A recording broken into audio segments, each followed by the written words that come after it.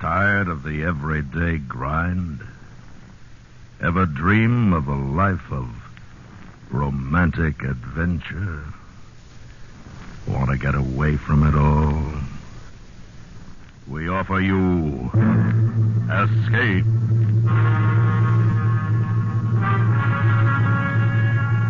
Escape, designed to free you from the four walls of today for a half hour of high adventure.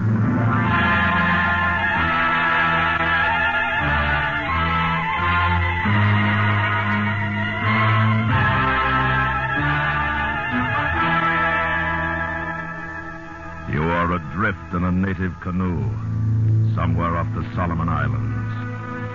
Ahead of you lie the unknown terrors of native savagery. And closing in on you is a white man whose gunboat will smash you to the bottom of the sea. Listen now as Escape brings you John Russell's story, The Price of the Head.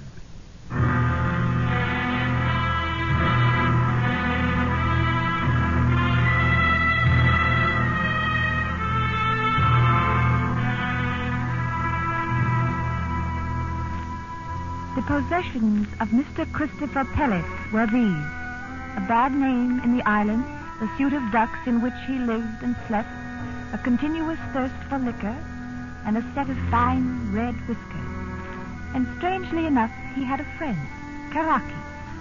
Now, no man can gain friendship except by virtue of some decent quality attaching to him, and Pellet had none. How then explain the loving devotion lavished upon that drunken brute by the gentle native? This was the mystery at Fufuti. But mystery or no, Pellet himself became unendurable to the decent, peaceable folk of the town.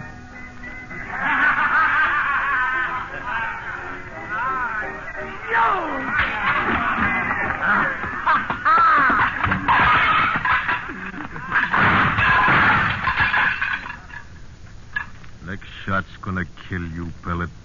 So help me, I'd put a bullet in your drunken brains. Get out. All right, I'm going. I'm going. In the Silver Isles there lived a wench whose eyes were blue and nose was. hey, Mummery! you missed the fun, Mummery. Mummery, Mummery. Take your hands off me, Mr. Pellet. You're an offense, sir. Uh, You're an offense, sir. Karaki! Where is that boy? One day Mr. Howe may be obliged to shoot you. Now, you shoot me, that'd be murder. Murder's fine talk for company agent, Mr. Mummery.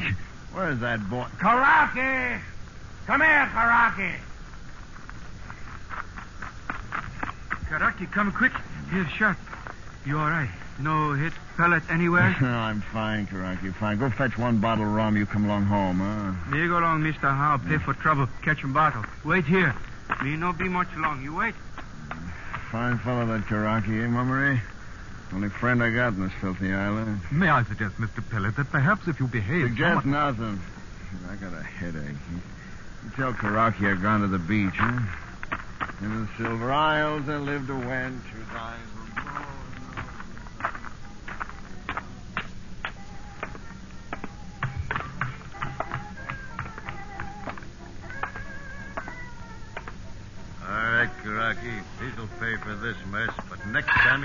he blows off, I'll put a bullet in his leg. No, no, Mr. Howe. No shoot. Karaki all time. Pay good. Well, Mr. Mummery. Beat it, Karaki. I'd like a chat with you, Mr. Howe. Right with you, sir. Boy, Jack, give Karaki a bottle of rum and get this mess cleaned up. Yes, sir, Mr. Howe. Come into the office, Mr. Mummery. We're more cozy there.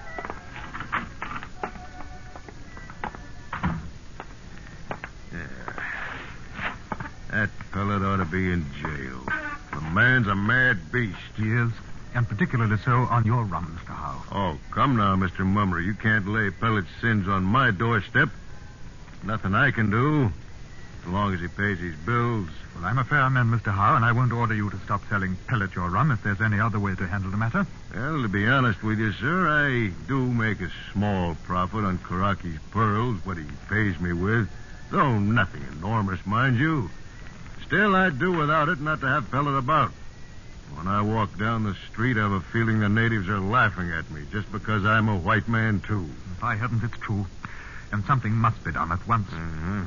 Mr. Howe, I'll try talking to him like a gentleman, but I'll be firm with him. Now, if you'll send Moy Jack with a message that I'd like to have him for tea tomorrow. Tea? you don't mind my saying so, Mr. Mummery, tea Oh, isn't. All right, then. Uh, tell him there'll be whiskey. That'll do it, sir. And good luck with him. Thank you, Mr. Howe.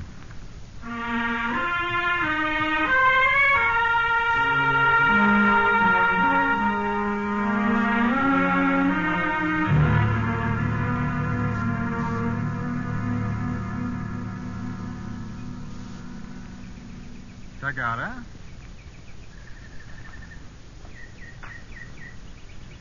Tagara, whiskey for Mr. Pellet, girl.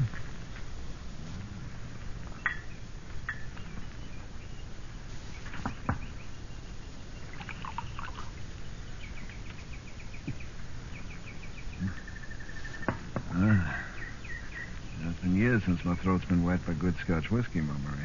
Yes, I am sure. Uh, you live well here. Fine house, good liquor, servants. I work hard, Mr. Pellet, and I stay sober. Should have been a preacher, Mummery. You missed your line in Copra. Now, if you please, Mr. Pellet, we are not discussing my career. No, well, go on, Mummery. As long as I'm drinking your whiskey, I'll listen to your chatter. Girl? You, you make it difficult, Mr. Pellet. I mean to. Yes, I suppose you do. I didn't expect you to invite me here out of friendliness, Mummery. Well, you could have friends, Mr. Pellet, if you lived decently. I live the way I want, and I've got a friend. Ah, a savage. It's odd. Never thought of Karaki as a savage. I suppose he is. Yes, civilization lies lightly on these people, Mr. Pellet. At heart, Karaki is nothing but a, a heathen from Bougainville. Bougainville. Yeah, you know Karaki likes it there. He's always talking about it.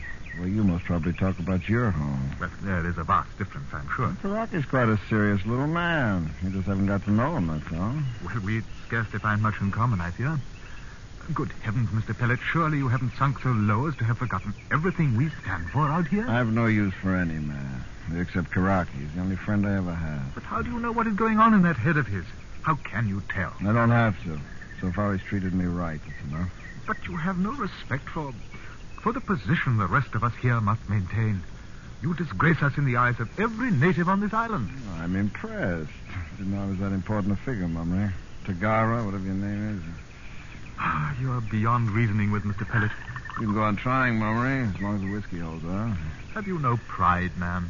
I cleaned out a bar in Sydney once, alone, against nine sailors. No, that's not I exactly. what- engineered a mutiny aboard an Arab dhow in the Gulf of Oman some years back. I sold a cargo at Bahrain for pretty figure, Mummery, pretty figure. Well, that's certainly compounding a crime. Ah, that cargo was illegal in the first place, Mummery. Slaves it was. Little boys and girls from India. Uh, Mr. Pellet, I must ask you once and Well, for all. bottle's almost finished, Mummery. What do you want? Will you take a job if I offer you one? A job. Mummery, I stopped working nine years ago. I'm against working. All right.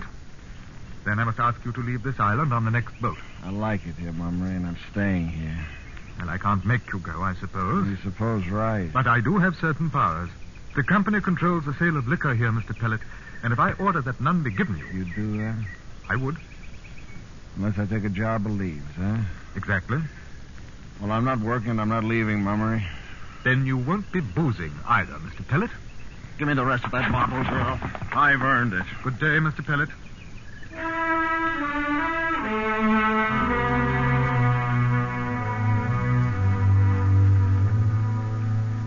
That night, the order went out to serve Pellet no more rum.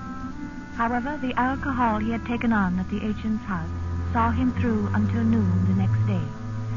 He awoke then with a terrible thirst, and by evening he was raging.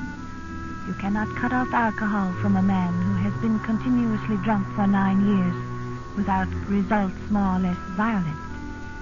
Karaki, with the patience of a saint, bore the brunt of it all.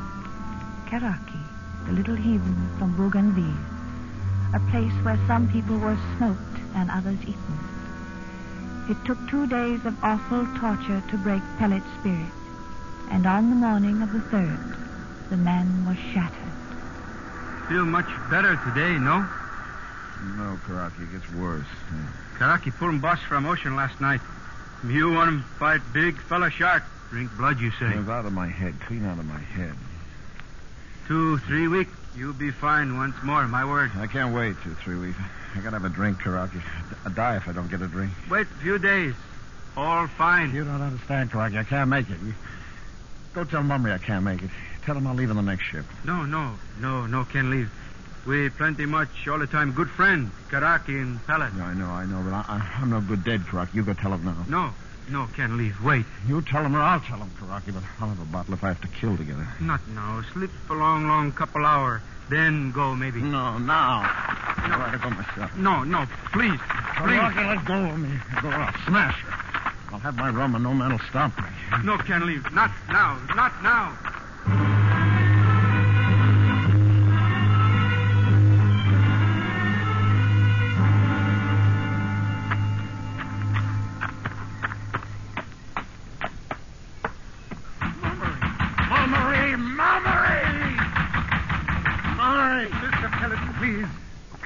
Come in, man, come in. Mummery, Mummery, I, I need a drink. No, Mr. Pellet, not a drop. Here or anywhere else in Fukushima. Give me a drink, man. I'll, I'll get on your blasted ship. Oh. Well, then you agree to leave. Yeah, yeah. And on the next ship, Yes, on the next ship. you can have your rum, Yeah. but you'll be on that ship when she sails. I'll be on it. Give me a drink, man, quick. So you can get a drink at Mr. Howe's. I'll send a message to him. Mummery was all I could do to get this far. I need a drink now. All right, Mr. Pellet, but just one. I will not have you disgracing me in my own house. Yeah? Take it? One more. No. Give me that bottle. Hmm. Now, Mummery, if you, you come to Michael Howe's with me, I'll buy you a drink. No, thank you, Mr. Pellet. I'd rather not be seen in your company. Write a note to Hal. Tell him to sell me rum. I'll take it with me. Do you have to get drunk now, Mr. Pellet? Now. You back out of this and I'll kill you, Mummery. Now. All right, Mr. Pellet. But it will be a happy day for all of us when you're aboard that ship. I'll find me another island, Mummery. Maybe you'll be transferred there one day. Eh? God forbid. I'll write you your note, and I want to see no more of you till the day you leave. That's good enough for me. You're dull company, Mummery. At least I'm a gentleman, Mr. Pellet. And I have enough respect for myself not to become a walking insult to me and my race. The note, Mummery, the note. You can come to Howe's and preach to me. I don't mind it there. Hurry, man. Hurry. Hurry.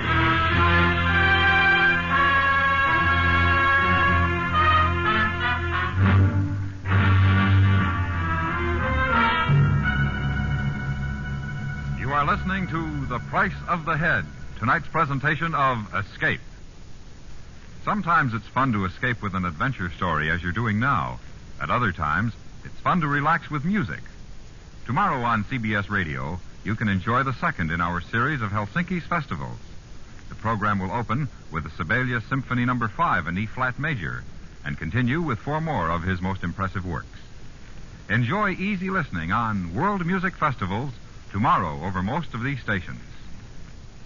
And now back to Escape and the second act of The Price of the Head.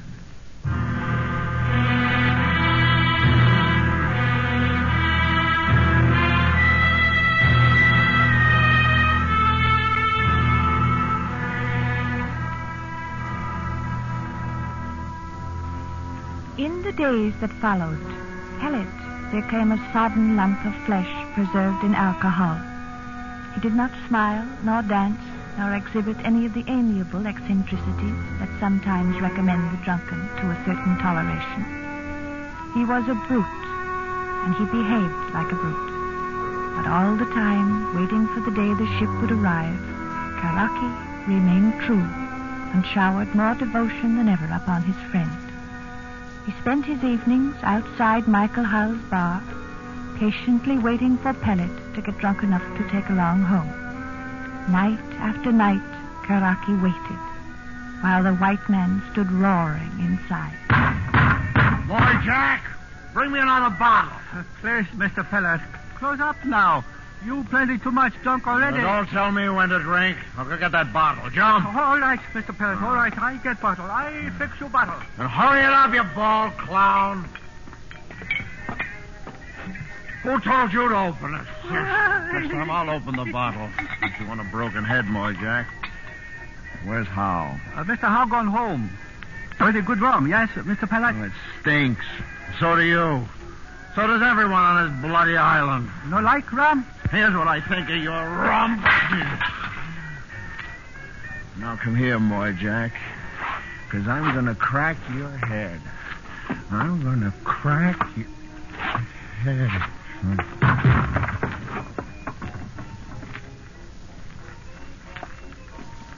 Karaki! Karaki!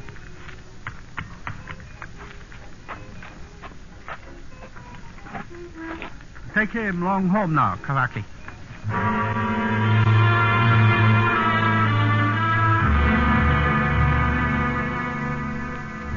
Few minutes later, the wiry little Karaki had the white man across his shoulder and bore him down the beach to the miserable shelter of pandanus leaves they called home.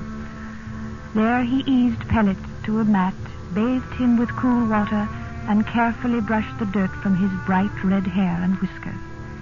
Then he sat by with a fan and kept the mosquitoes from the drunkard's bloated face. He sat there all night while Pellet slept. It was midday before Pellet awoke and groaned his way out of a painful fog of alcohol. Rum. Rum, Crocky. Rum. Hmm? Coconut more better. Hmm. Uh, here. Drink milk. Hmm. Feel fine soon. You'll find sooner if I had some rum, Karaki. Haven't you got a bottle around here, son? No rum. You drink long too much rum last night. Too much Moy Jack rum. What do you mean? Too much Moy Jack rum? Moy Jack put white powder in bottle. Make you sleep. White powder. So that's it. What a little rat. Moy Jack him all the time laugh. I'll tear his throat out. You be careful. Moy Jack him all the time carry knife. Cut face all up. Ah, little wax man. I'll, I'll murder him. Come on, Karaki. You watch out for a knife. And Moy Jack him plenty fast. I'll kill him. Watch him fella close. Pellet no get face cut. I'll handle him, Karaki. Don't you worry. Half in anger and half in anticipation of the pleasure of beating a man, Pellet staggered down the beach toward Howe's bar. It was the noon hour of repose, and all Fufuti was asleep. Pellet reached the bar and found Moy Jack dozing peacefully among the bottles. He woke him with a savage kick. Get up, you dirty scum. Get up so I can bust holes in you. No, hurt me, Mr. Pellet. Let go. Leave me a lick, will you? Not again, you won't.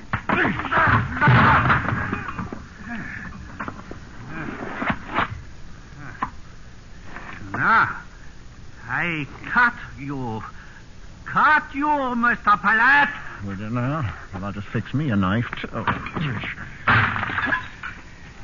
Come on, boy. I want to twist this bottle around in your face. Oh, Hold him. There. That'll learn you to fight with a red-headed man. That'll learn you.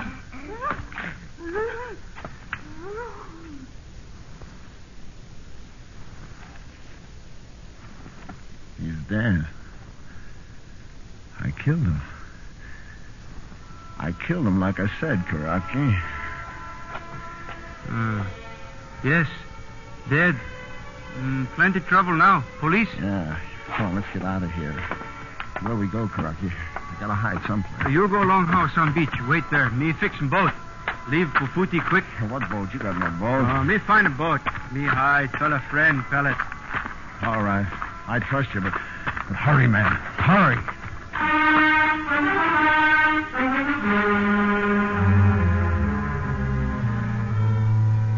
Pellet waited in terror in the shack on the beach while Karaki broke into the boat sheds and with an axe smashed the bottoms out of the three craft sheltered there.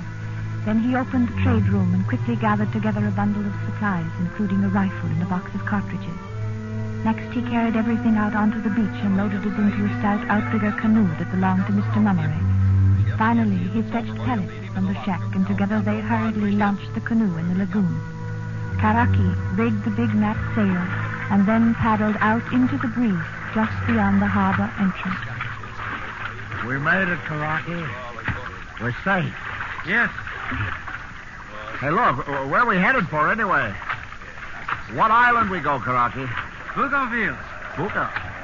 You crazy? That's, that's 800 miles from here. All the same, we go a long way home. 800 miles? We go. All fine. Always one bring you along my home. All right, Karaki.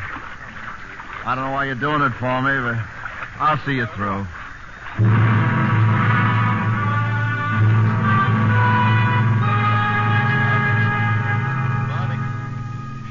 It was not the beginning of a very pleasant voyage for Mr. Christopher Pellet. The fear of being captured and hanged was great enough, but added to it were the horrors brought on once more by the lack of alcohol. The first night he was too seasick to care, but by morning he was raving. Rum. Give me rum, you blasted heathen. No got him rum. You bloody fool. Why didn't you pack in some rum? Need water. No need rum. Got plenty water. Curse you, Karaki. I don't drink water. Better you drink water. Well, I won't. Turn back. I'll take hanging to this turn back, I tell you. Oh, soon catch him. One big fella wind. Blow straight to Bougainville. No. How could you find Bougainville anyway? No. We're going back, I tell you. Karaki easily tied the weakened white man hand and foot and continued to sail off into the open sea. Now and then he threw a dipper full of seawater over the white man and occasionally fed him with coconut milk. Karaki was an excellent nurse. He even combed Pellet's red hair and whiskers twice every day. By the time they reached the Santa Cruz region, Pellet's condition had improved and Karaki released him. They were now in an area peppered with tiny islets, and Karaki decided to land on the lee of one in order to replenish their water supply. He had dropped sail and was paddling slowly into the beach when suddenly, from out of nowhere, a cutter carrying two white men appeared behind them. Big fool! No catching Karaki and Pellet. We go away. Big fool! Put the gun down, Karaki. We're in enough trouble now. Okay, I shoot.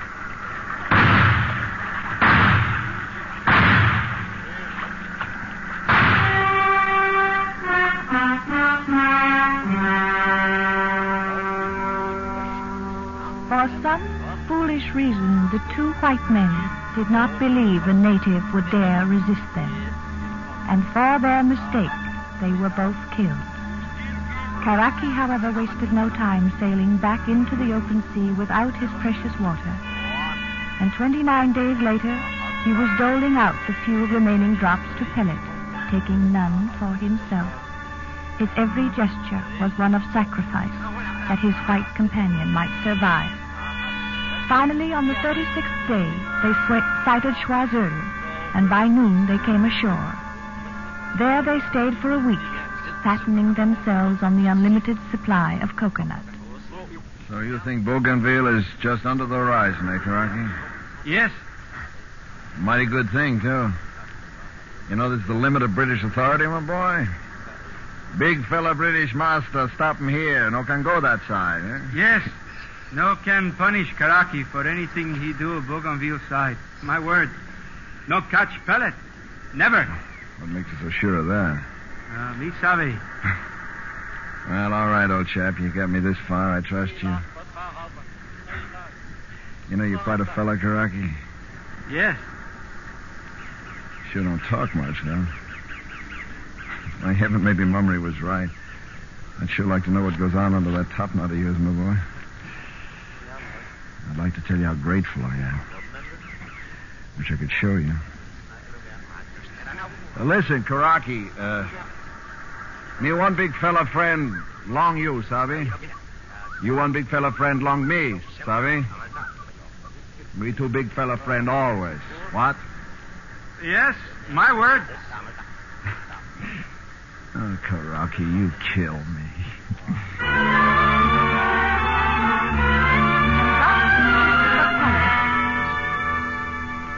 And thus did Christopher Pellet express his gratitude to the quiet savage who had with rarest self-sacrifice saved his life again and again.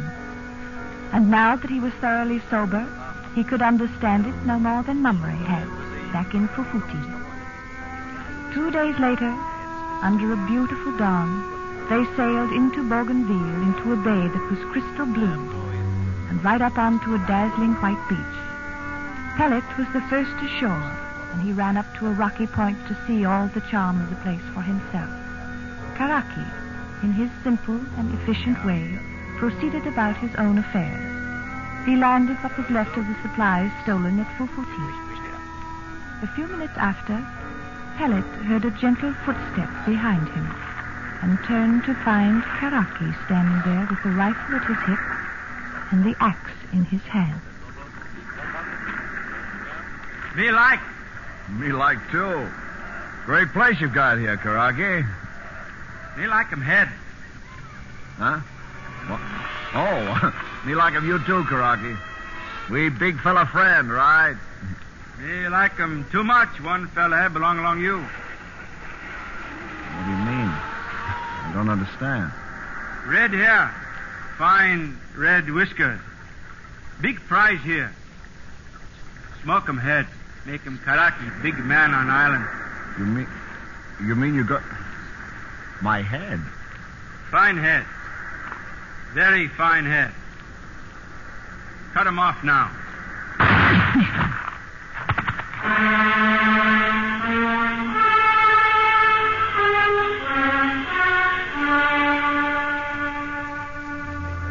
That was the way of it. That was all the mystery. In Karaki's country, a white man's head, well smoked, was indeed a prize. But that of Mr. Christopher Pellet, with his precious red whiskers, was a thing to be desired above the love of women. And the simple, patient, enduring Karaki had served hard to win it. And did it really matter to Pellet how or why he died? since his own race would have hanged him for murder anyway?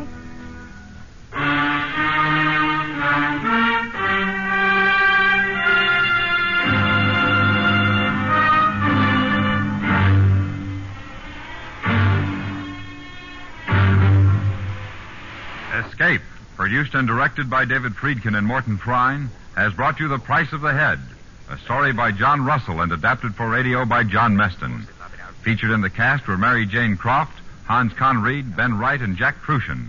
Also heard were Clayton Post and Herb Butterfield. Your announcer, George Walsh. The special music for Escape is composed and conducted by Leith Stevens. Next week.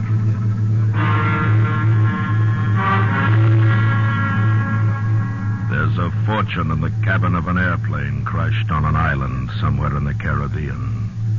And only you know where it is. By your side, sailing the treacherous channels, a smiling killer with a knife, from whom there is no escape. So listen next week when Escape brings you E. Jack Newman's story, The Coward.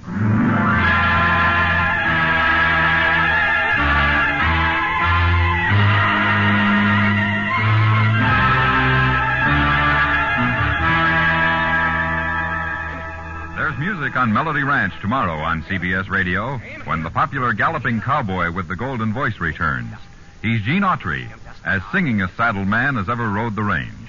Meet Gene Autry at the Old Corral when he returns to Melody Ranch tomorrow on most of these same stations.